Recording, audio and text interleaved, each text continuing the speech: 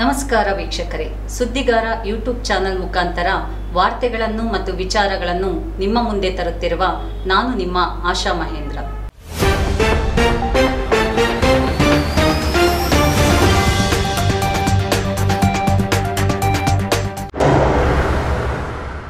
ಈ ಅಭಿಮಾನಿಗಳ ಮೇಲೆ ಕೋಪಗೊಂಡ ನಟ ಅಜಿತ್ ನಿನ್ನೆ ತಮಿಳುನಾಡಿನ ಚುನಾವಣೆ ನಡೆದಿದ್ದು ಹಲವಾರು ಚಿತ್ರರಂಗದ ತಾರೆಯರು ತಮ್ಮ ಮತಗಳನ್ನು ಚಲಾಯಿಸಿದ್ದಾರೆ. ಆ ವೇಳೆ ಮತ ಹಾಕಲು ಬಂದ ಅಜಿತ್ ಅವರು ಅಭಿಮಾನಿಗಳ ಮೇಲೆ ಕೋಪಿಸಿಕೊಂಡಿದ್ದಾರೆ ಎನ್ನಲಾಗಿದೆ.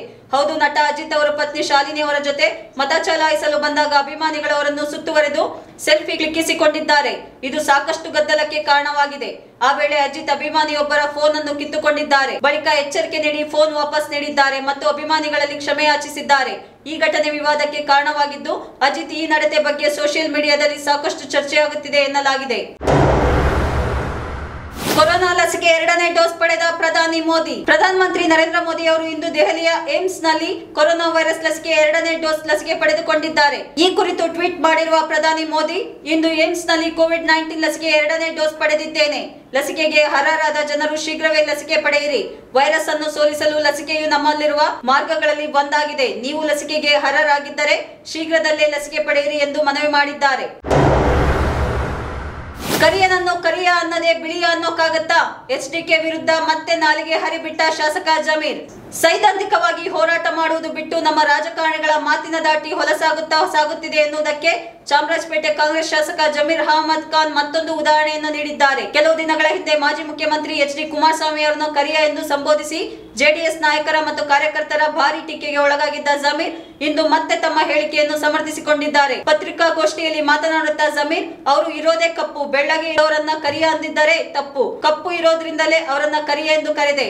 ಇದು ತಪ್ಪು ಎಂದಾದರೆ ನನ್ನ ಮೇಲೆ ದೂರು ನೀಡಲಿ ಎಂದು ಜಮೀರ್ ತಮ್ಮ ಹೇಳಿಕೆಯನ್ನು ಸಮರ್ಥಿಸಿಕೊಂಡರು. ದೇಶದಲ್ಲಿ ಒಂದೇ ದಿನದಲ್ಲಿ ಒಂದು ಲಕ್ಷದ ಇಪ್ಪತ್ತಾರು ಸಾವಿರದ ಇನ್ನೂರ ಅರವತ್ತು ಕೊರೋನಾ ವೈರಸ್ ಪ್ರಕರಣಗಳು ದಾಖಲು. ಕೊರೋನಾ ವೈರಸ್ ಪ್ರಕರಣಗಳು ಹೆಚ್ಚುತ್ತಿರುವ ಹಿನ್ನೆಲೆಯಲ್ಲಿ ಹೆಚ್ಚಿನ ಪ್ರದೇಶಗಳು ಬುಧವಾರ ಸಾಮಾಜಿಕ ಚಲನೆಯ ಮೇಲೆ ಲಾಕ್ಡೌನ್ ನಂತಹ ನಿರ್ಬಂಧಗಳು ಹೇರಲು ಒತ್ತಾಯಿಸಲಾಗಿದೆ.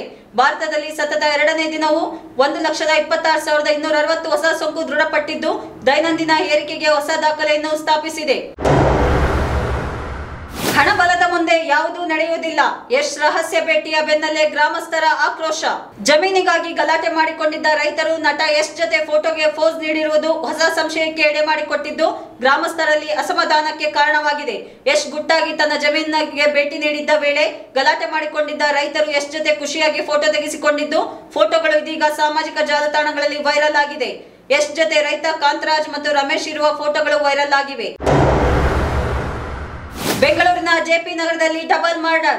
ಸಿಲಿಕಾನ್ ಸಿಟಿಯಲ್ಲಿ ಜೋಡಿ ಕೊಲೆಯಾಗಿದೆ. ಒಂದೇ ಮನೆಯಲ್ಲಿದ್ದ ಪಶ್ಚಿಮ ಬಂಗಾಳ ಮೂಲದ ಎಪ್ಪತ್ತೊಂದು ವರ್ಷದ ವೃದ್ಧೆ ಮಮತಾ, ಬಸು ಹಾಗೂ ಒಡಿಶಾ ಮೂಲದ ಉಪನ್ಯಾಸಕ ದೇವರಥ್ ಬೆಹೇರಾ ಕೊಲೆಯಾದ ದುರ್ದೈವಿಗಳು. ಪುಟ್ಟೇನಹಳ್ಳಿ ಪೊಲೀಸ್ ಠಾಣಾ ವ್ಯಾಪ್ತಿಯ ಜೆಪಿ ನಗರ ಏಳನೇ ಹಂತ ಬ್ರಿಗೇಡ್ ಮಿಲೇನಿಯಂ ಅಪಾರ್ಟ್ಮೆಂಟ್ ಸಮೀಪದ ಸಂತೃಪ್ತಿ ನಗರದಲ್ಲಿರುವ ಮನೆಯೊಂದರಲ್ಲಿ ಈ ಜೋಡಿ ಕೊಲೆಯಾಗಿದೆ. ಕೊಲೆಯಾಗಿರುವ ಮಮತಾ ಬಸು ಅವರ ಮಗಳು ವಿದೇಶದಲ್ಲಿದ್ದಾರೆ. ಮಗ ದೇವದೀಪ್ ಬಸು ಅವರು ಇದೇ ಪ್ರದೇಶದ ಸಂತೃಪ್ತಿ ನಗರದಲ್ಲಿ ವಾಸವಾಗಿದ್ದು ಉಪನ್ಯಾಸಕರಾಗಿದ್ದಾರೆ. ಯುಗಾದಿ ಹಬ್ಬಕ್ಕೆ ಹೆಚ್ಚುವರಿ ವಿಶೇಷ ರೈಲುಗಳ ಸಂಚಾರ. ರಾಜ್ಯ ಸಾರಿಗೆ ನೌಕರರ ವಿವಿಧ ಬೇಡಿಕೆ ಈಡೇರಿಕೆ ಆಗ್ರಹಿಸಿ ಅನಿರ್ದಿಷ್ಟಾವಧಿ ಮುಷ್ಕರ ಎರಡನೇ ದಿನಕ್ಕೆ ಕಾಲಿಟ್ಟಿದೆ. ಇದರಿಂದಾಗಿ ಯುಗಾದಿ ಹಬ್ಬಕ್ಕೆ ತೆರಳುವ ಪ್ರಯಾಣಿಕರಿಗೂ ಸಾರಿಗೆ ನೌಕರರ ಮುಷ್ಕರದ ಬಿಸಿ ದಟ್ಟಲಿದೆ ಎನ್ನಲಾಗುತ್ತಿದೆ. ಹೀಗಾಗಿ ರಾಜ್ಯದ ಪ್ರಯಾಣಿಕರಿಗೆ ಯಾವುದೇ ತೊಂದರೆಯಾಗದಂತೆ ಕ್ರಮ ಕೈಗೊಳ್ಳಲು ಎರಡು ದಿನ ವಿಶೇಷ ರೈಲು ಸಂಚಾರಕ್ಕೆ ರಾಜ್ಯ ಸರ್ಕಾರದ ಮುಖ್ಯ ಕಾರ್ಯದರ್ಶಿ, ಸೌತ್ ವೆಸ್ಟರ್ನ್ ರೈಲ್ವೆಯ ಜನರಲ್ ಮ್ಯಾನೇಜರ್ಗೆ ಪತ್ರದಲ್ಲಿ ಮನವಿ ಮಾಡಿದ್ದರು. ಇಂತಹ ಮನವಿಗೆ ಪ್ರತಿಸ್ಪಂದಿಸಿರುವಂತಹ ರೈಲ್ವೆ ಇಲಾಖೆ ಏಪ್ರಿಲ್ ಒಂಬತ್ತು, ಹತ್ತು, ಹನ್ನೊಂದು ಮತ್ತು ಹದಿನಾಲ್ಕರಂದು ಹದಿನೆಂಟು ವಿಶೇಷ ರೈಲು ಸಂಚಾರಕ್ಕೆ ಅನುಮತಿ ನೀಡಿದೆ. ನಮ್ಮ ಈ ವಿಡಿಯೋ ನಿಮಗೆ ಇಷ್ಟ ಆದಲ್ಲಿ ಲೈಕ್ ಮಾಡಿ, ಶೇರ್ ಮಾಡಿ, ಕಮೆಂಟ್ ಮಾಡಿ ಮತ್ತೆ ಸಬ್ಸ್ಕ್ರೈಬ್ ಮಾಡಿ.